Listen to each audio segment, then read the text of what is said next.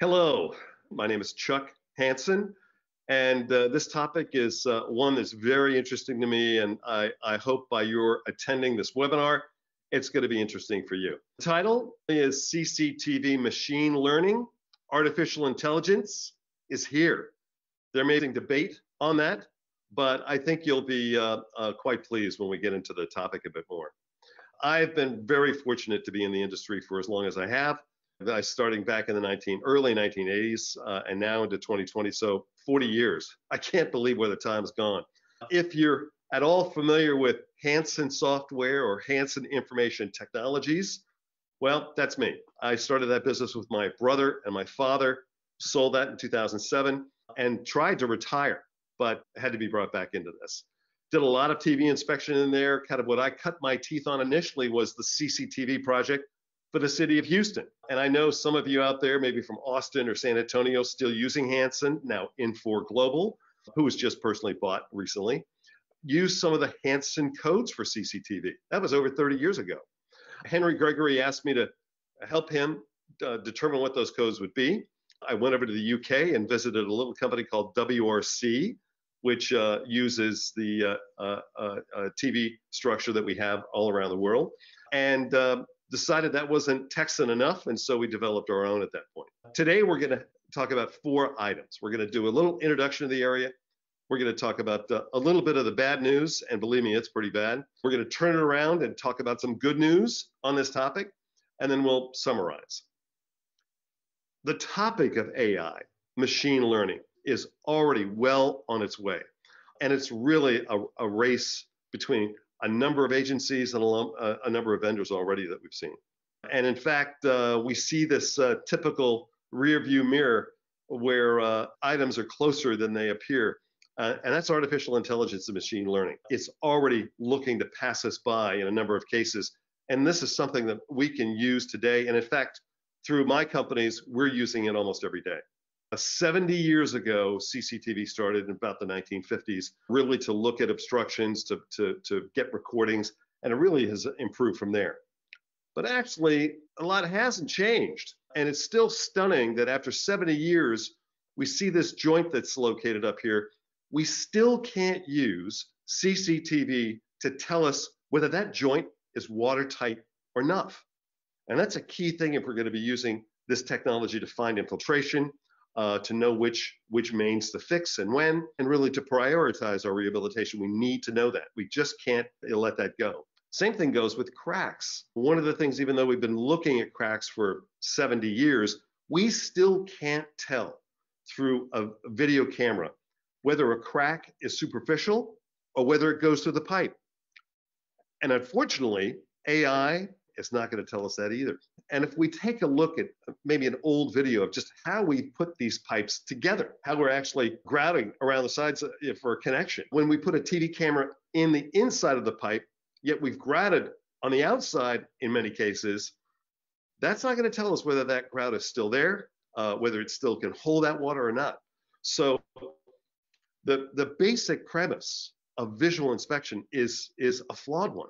And so if we're just automating something that's already flawed, we know that there's going to be a problem. So we've got to ask the question, is AI going to be able to provide better assessment for defects, including leaks? The answer is probably not. Uh, there are other new technologies that can do that. So we're going to be talking about what AI can deliver for us and what it's delivering today. Again, looking at this concept of finding a leak, we're assessing things. Even if we have a 360 degree um, film that we can lay that out, uh, it's very, still very difficult to tell if a joint is leaking or not. We're looking at these pipes more than likely without water in them. Uh, we want to do this at a low flow. And unfortunately, this is why CCTV typically misses 80 to 100% of leaking joints. It, it just is going to happen. But machine learning is more than just automating what we see. There are algorithms, there are improvements, there's analyses, there are classifications and data mining that we can do. So machine learning will actually encompass many of these areas. So it's not only coming with AI machine learning, it's already here. The thing is that may, you may be surprised of how, how it is here and how it's already beginning to change how we assess the pipes that we have. So here's the bad news, and it is pretty bad. AI essentially is highlighting the drawbacks of CCTV. This is something we've relied on for all of those years. But the problem with inconsistent, incorrect use of codes, operator bias that we see time and time again, uh, really leads to fixing poor quality defects, possibly even fixing pipes that we shouldn't fix. Even worse, because TV has been used more than likely inappropriately to approve things like cured in place pipe and liners and some of the other trenchless things, we can have some real problems experienced by that. So what do I mean by that? Well, if we take a look at the three common codes that are out there, you know, one category, structural ratings here, we've got a problem in that one five rated defect actually is the same as five one rated defects. If we truly want to get a one through five, we really got to get a handle on what these codes are, are telling us. In the second ca category, operational and maintenance, when we take a look at the typical codes that we have there, we see infiltration. And really, infiltration doesn't belong as an O&M score. These are structural defects. This is where infiltration is coming in. This is a problem we've got to really not only identify where and how many, but the severity of those things. And the last code, and I've only shown a, a, a, small clip of this, construction features, really where we look at lateral defects, shouldn't be a construction, it shouldn't be O&M. These are structural areas, and we've got to identify defects at the lateral, not only before we do rehab, but as we'll see in a couple of minutes, after. Consultants seeing the problems with a one through five category rating uh, have done their best to even change how they've weighted these scores, how to come up with alternative scoring systems. We've had some agencies that have actually done away with CCTV, understanding that TV cannot find or quantify infiltration. This is something, in many cases, we just don't want to rely on in the future. The other very surprising thing is leading utilities. Here's an example Wessex Water, a small utility by UK standards, a huge utility by American standards. Uh, Wessex uh, manages about 35,000 kilometers of sewer main. That's about almost 22,000 miles of pipe. In 2017, Julian Brighton, head of rehab, already was finding using AI, he could be accurate by 92%. All of the British calls, 92%. The joke was if you had manual people looking at the same video, they might be lucky to get 40%. Going through, working with a local university there at Exeter, extracting the frames, pre-processing those, applying the filters, and then finally classification and identifying the faults. A lot of work has been done, and this is almost three years ago. He's not quite to 100%, but just give Julian time. That's why it's interesting to see some of the articles that come out by industry people that uh, are talking with the TV camera guys, the question is sometimes asked, what if AI produced data that's incorrect? Let's take a look at how three different CCTV operators, for example, rated the same pipe. This is a very famous study that was done back in 2015 uh, by Long Beach Water Department. They looked at operator A rating a pipe, and luckily B rated it the same way. But then as you look at a time series of these, be not only rating the same pipe, rated it a one, and then rated it a zero, and then again zero, and then operator C would come back and rate it a three. Which one do we trust? Second example, we see A and B both rated at a zero, B a three, then C. So in both cases, in the first two, A and B, the lateral damage was not coded. I could see it, but there was no coding of it. B then, uh, radiant number three, found lateral damage and coded it. But then C couldn't see that as well. So uh, the differences that two or even three people see in the same video, uh, same video is uh, a real problem for the industry. You took a look at uh, scoring individual cracks, for example, the difference between a crack circumferential versus a crack multiple, scoring a one versus a three. You decide. How would you score that? The other thing that we look at is, is just the integrity of coding. We were asked to, to look at a Texas uh, wastewater utility just this year, some of the coating of their joints. In looking at 23,640 feet, three operators came up with a total of 30 defective joints and a known high infiltration area. What that meant was out of the possible 4,000 joints that were out there, these pipes were perfect. Notice the defect rate at the bottom. That meant 99.2% of these pipes were perfect, but they really weren't. As we look at operator bias that may be in here, here's a slice just looking at PVC pipes. And if we look at operator one, two, and three, and we look at the circle, operator three actually televised 37% of these 9,800 pipes. No defects were recorded. That's a problem. As we take a look at coding of defective taps, here's an example where operator one, two, and three are compared. Operator one televised 31% of the VCP, but only found one defect at a tap. I'm going to tell you why that's really important here in a few minutes. We were then asked uh, by Midwest uh, City, take a look at some of their videotape. And we saw 690 joint defects. Big number. We had to look at 833,000 running through some of the analytics on the cloud. And because of this, 99.3% considered good out of the possible 100,000 joints. What that can do by understating defects at joints, CCTV actually can recommend areas to rehab that are actually the wrong ones. And if you're looking to eliminate something like infiltration, that's going to be a real issue as you move forward. This was an interesting uh, uh, project that we were asked to look at in California. High infiltration right near the bay. And we actually, before, reviewed all of the reports as the consultant did in this case and found a manhole that had two overflows, and we did have some recapture of that. So we netted outflows 292,000 gallons. We scheduled a lot of TV based on this, and uh, we were looking at the problem, did a lot of recommended rehabilitation on it. But what happened afterwards? Well, we actually came up with six overflows that now netted with zero recovery over 400,000 gallons. And looking at this information, out of the 220 possible PACP codes, only 30 codes were used to evaluate the sewers. We're not saying that they were the right codes, but it's by looking at the degree of, of um, forensics on this, uh, it's, a, it's a real challenge to get this right. We're also take, asked to take a look at the benchmarking lateral connections.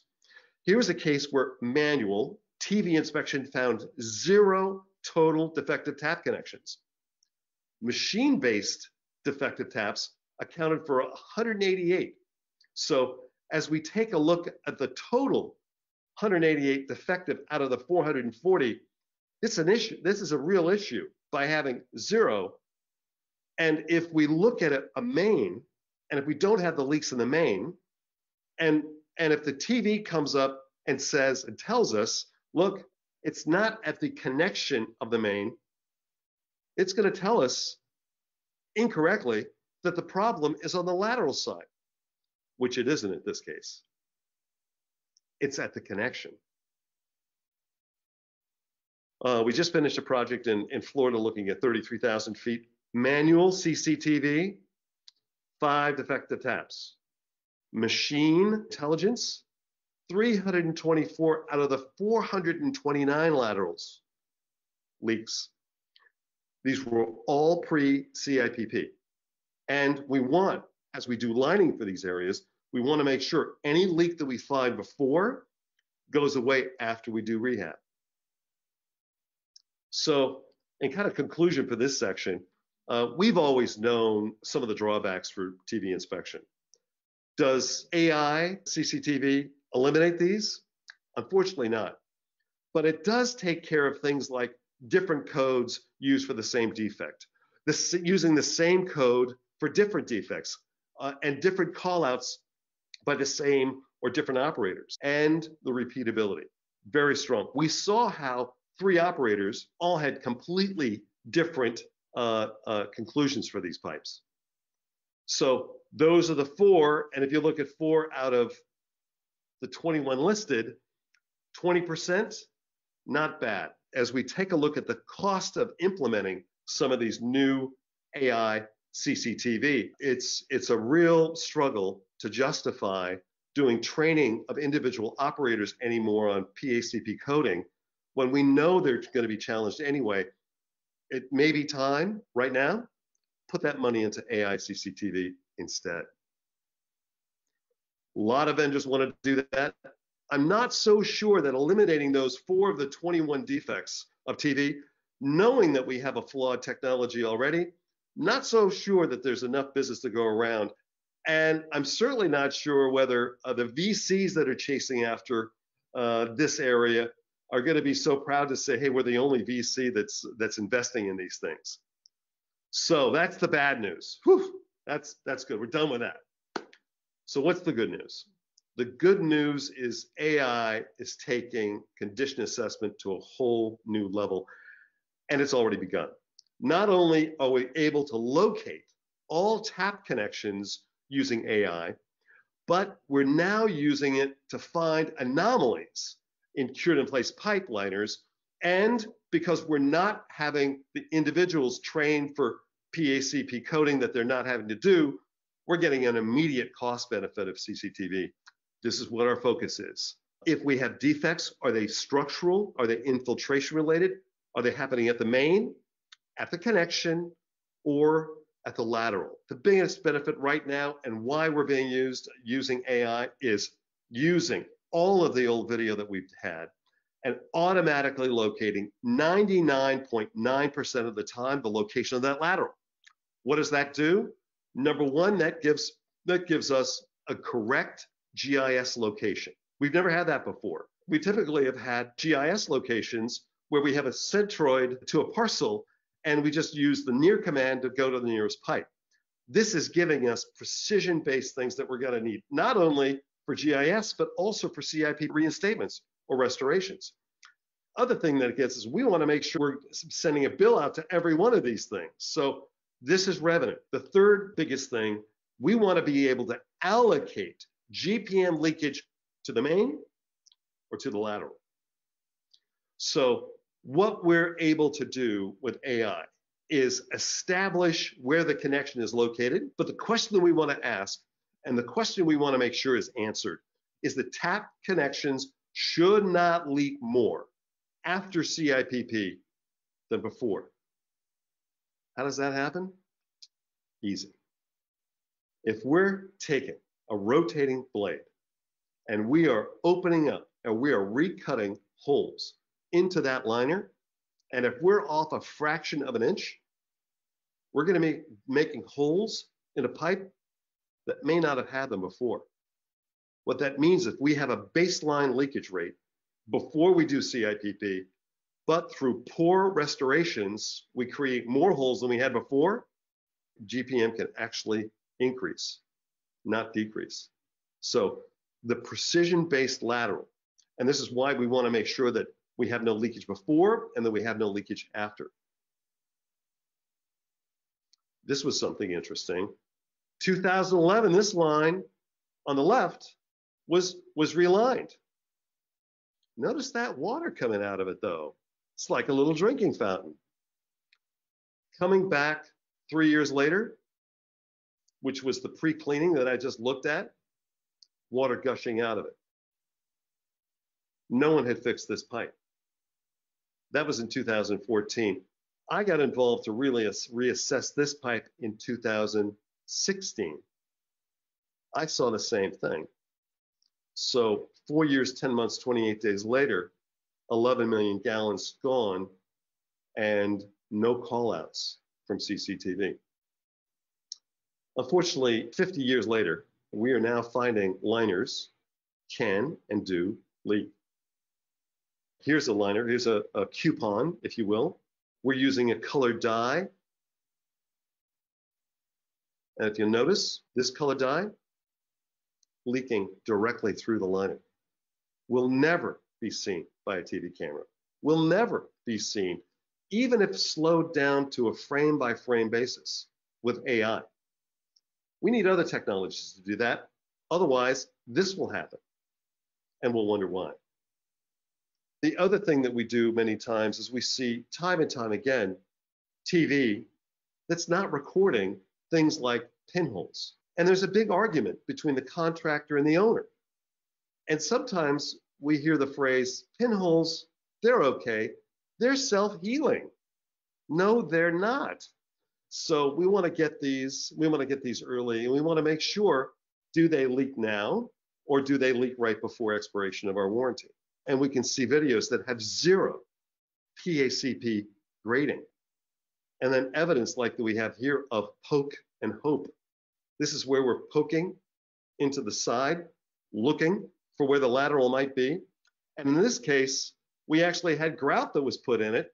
And in a couple of these cases, you'll see that grout not working, whether it's dried out or uh, uh, uh, not, not really coming. And we'll just see water infiltrating directly out.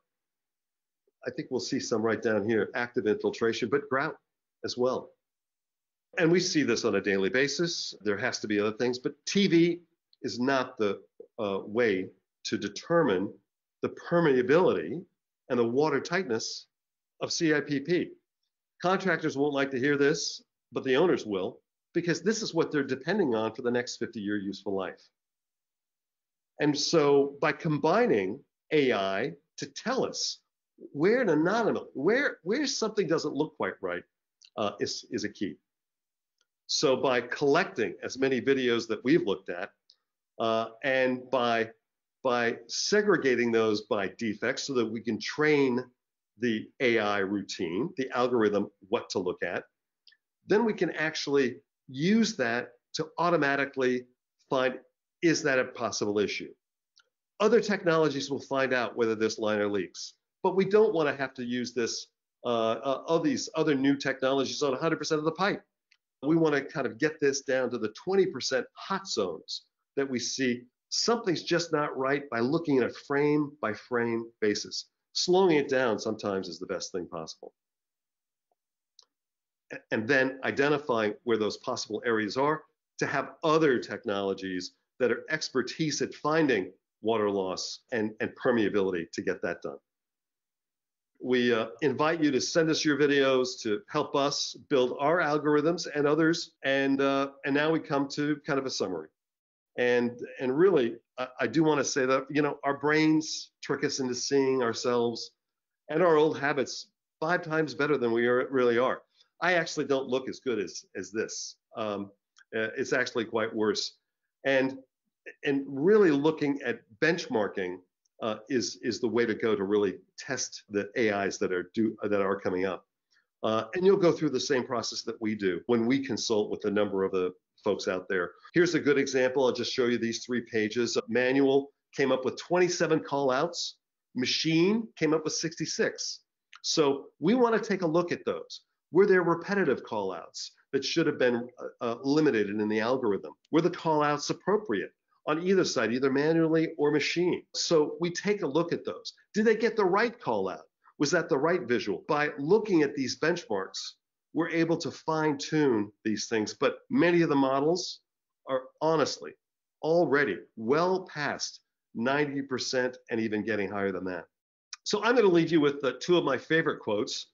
The first is from Steve Polyak, and it goes like this Before we work on artificial intelligence, why don't we do something about natural stupidity? That's telling us, uh, look, there's a lot of extra care that we need to see as we move forward.